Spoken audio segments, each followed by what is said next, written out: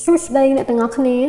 នៅក្នុងវីដេអូនេះអាចសភៅជួយពង្រីកគំនិតនិងលើកចុះអត្ថបទមួយដែលមានចំណងជើងថាវិធីសាស្ត្រ3យ៉ាងជួយឲ្យផ្លូវចិត្តរីករាយនៅពេលដែលមនុស្សជើងបានជួបប្រទះនៅបញ្ហាក៏ដូចជាវិបត្តិអ្វីមួយ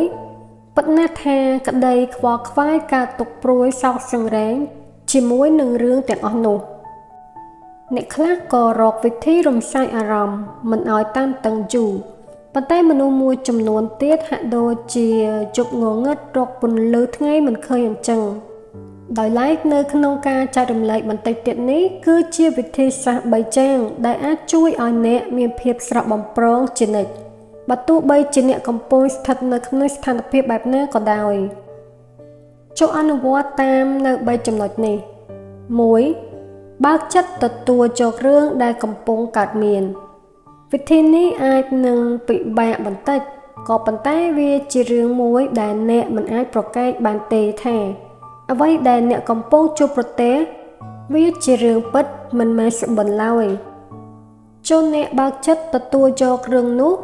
អ្នកនឹងមិនមានអារម្មណ៍ថាហត់ចំពោះរឿងដែលកើតឡើងនោះទេ2ស្រឡាញ់ខ្លួនឯងឲ្យបានច្រើន ទោះជាកំពុងស្ថិតនៅក្នុងស្ថានភាពធ្ងន់ធ្ងរយ៉ាងណាក៏ដោយចំណុចមួយនេះវានឹងធ្វើឲ្យអ្នកអាចឆ្លងកាត់បាន ដោយមិនលំបាកទេ ការស្រឡាញ់ខ្លួនឯងជល់ពីតម្លៃរបស់ខ្លួនឯងជឿជាក់លើខ្លួនឯងហើយទុកចិត្តខ្លួនឯងថា ខ្លួនឯងអាចធ្វើបាននោះអ្នកនឹងមានសង្ឃឹមហើយអាចដោះស្រាយបញ្ហាបានដោយសន្តិវិធី3 ការអធិស្ឋានចំពោះខ្លួនឯងនិងអ្នកដទៃបញ្ហាតែងតែកើតមានអាចបណ្ដាលមកពីខ្លួនឯងឬអ្នកដទៃជាអ្នកសាងប៉ុន្តែមិនថាអ្នកណាជាអ្នកបង្កឡើងនោះទេវាសិតតែអាចធ្វើឲ្យមានការឈឺចាប់និងគ្មានសេចក្តីសុខដូច្នេះអ្នកត្រូវតែបើកចិត្តឲ្យទូលាយព្រមអភ័យទោសនិងផ្ដល់ក្តីស្ងប់សុខសម្រាប់ផ្លូវចិត្ត ព្រោះវាជាដើមទុនក្នុងការស្វែងរកអំណរដល់ខ្លួនឯងផ្ទាល់និងអ្នកដទៃផងដែរ